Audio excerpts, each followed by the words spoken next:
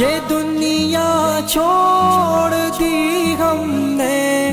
तेरी खातिर मेरे मौला। ये दुनिया छोड़ दी हमने। तेरी खातिर मेरे मौला। ये चाहत है कि मिल जाए। सुकून अब तेरे रस्ते में।